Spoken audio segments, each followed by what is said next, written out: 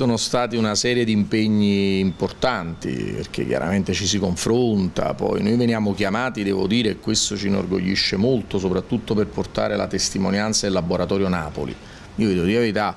procura una certa emozione partecipare a dibattiti fuori Napoli dove tante persone che operano in tutte le parti d'Italia riconoscono alla città di Napoli un presidio di resistenza, di attuazione dei valori costituzionali,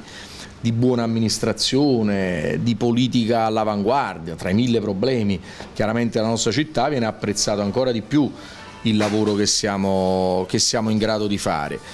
Poi eh, c'è l'occasione per, eh, per, fare un, uh, un, confronto chiaramente con altre esperienze amministrative, con movimenti, con associazioni, comitati e anche con forze politiche che sempre di più ci chiamano a confrontarci.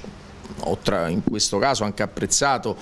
l'invito alla festa nazionale dei giovani democratici a Portici perché è stato il modo per confrontarsi con un'area che non è la nostra area, con un partito che c'è sempre stato all'opposizione, cercandoci anche talvolta di fare un, male gratuito, però sappiamo che in quel partito tra quelle componenti ci sono anche persone con cui si può tranquillamente dialogare, tra questi sono i giovani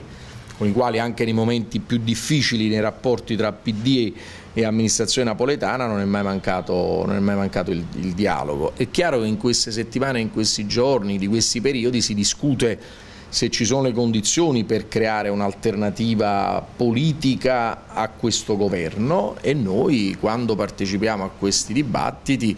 eh, diciamo che siamo pronti dire, alle sfide purché ci siano determinate condizioni. Certo le sfide non le puoi vincere con chi è il prodotto di Salvini, Presidente del Consiglio di fatto del nostro Paese. Salvini non è venuto un momento all'improvviso, evidentemente ha costruito lui e l'ha costruito anche con merito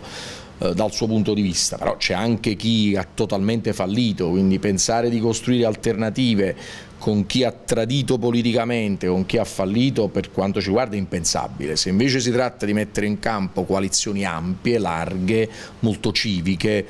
con chi in questi anni ha lottato, ha fatto dei diritti complessivamente le sue battaglie principali, siamo i primi a ritenere che bisogna eh, guardarsi attorno, bisogna confrontarsi e bisogna provare a mettere insieme una coalizione che abbia nella difesa e nell'attuazione della Costituzione il suo punto cardine di collante politico. Questo vale sia per le europee che per le regionali, Sindaco? Beh, sono competizioni molto diverse. Sulle europee fino a qualche tempo fa avevo risposto che non c'erano proprio le condizioni perché noi ci potessimo impegnare diciamo, con una certa forza.